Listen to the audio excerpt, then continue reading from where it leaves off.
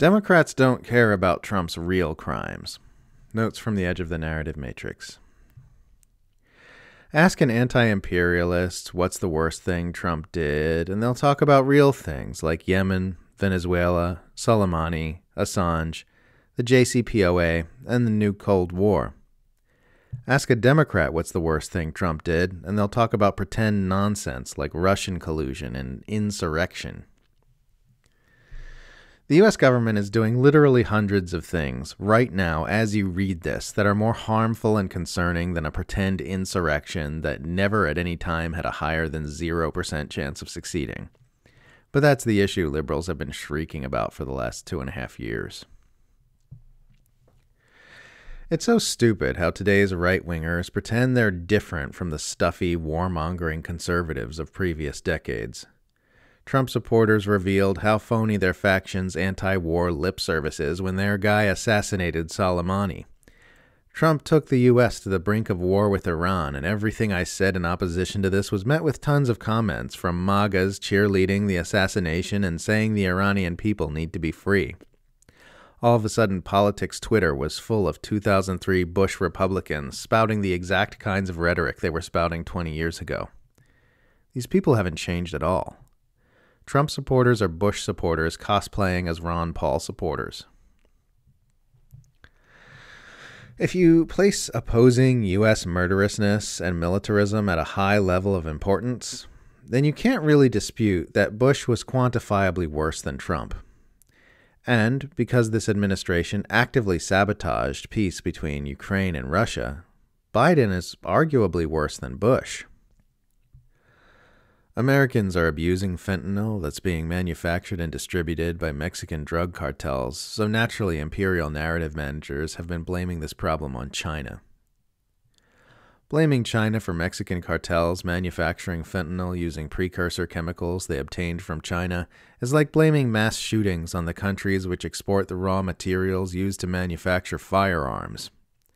Really, the problem isn't even the cartels, the problem is that Americans live in a miserable dystopia where everyone's increasingly impoverished and abused and made to feel worthless while their minds are being pummeled and warped by nonstop propaganda 24 7, 365. And that the American big pharma oligarchs who helped create the opiate crisis have never been punished. A new study from American University has found glaring discrepancies between the mass media coverage of the war in Ukraine and the war in Yemen saying his research shows that the press highlights or downplays human suffering in the two conflicts in a way that seemingly coincides with U.S. foreign policy objectives. These kinds of side by side comparisons are really important for showing media bias, because otherwise it's just kind of a vibe that some alert individuals know is happening, but often can't really say how. Yemen and Ukraine are ideal for such comparisons, since the attack on Yemen has been waged by Saudi Arabia a government the US likes, while the attack on Ukraine is being waged by an empire targeted government. Basically, what happened was some rich manipulators figured out that they could bully the global south into trading away real resources for pretend money, and any foreign government which refused to participate in this extraction scheme could be ousted and replaced with one who would. When Russia or China talk about national security, they mean the existential security of their respective countries. When the U.S. talks about national security, it means the security of global U.S. hegemony. The biggest lie being circulated in Australia right now is that our government is militarizing against China as a defensive measure. We're not militarizing to defend ourselves against a future attack by China. We're militarizing in preparation for a future US led attack on China. China has literally zero history of invading and occupying countries on the other side of the planet. You know who does have a very extensive history of doing that? The United States.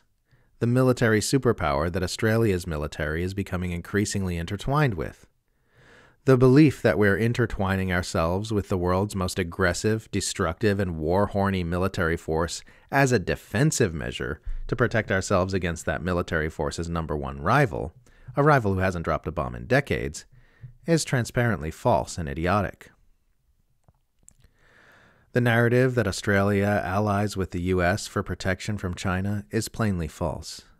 China hasn't been waging wars of aggression around the world, the US has. It follows that Australia is actually allied with the US to protect itself from what the US would do if it wasn't.